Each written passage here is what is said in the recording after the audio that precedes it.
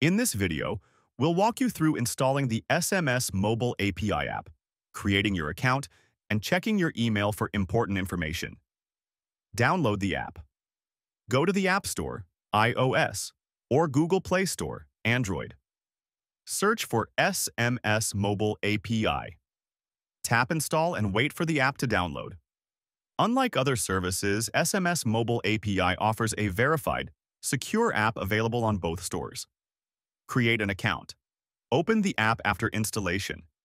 Enter your email and other required details. Tap Register to create your account.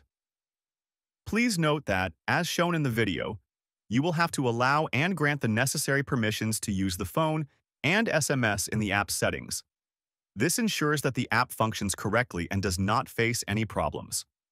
Also, before sending your first SMS with the app, please make sure that you have enough balance loaded into your SIM card account. This is because to send SMS's standard SMS rates apply. Check your email. After registration, check your inbox for an email from SMS Mobile API. The email will contain your API key, login details, email and password, and other important info.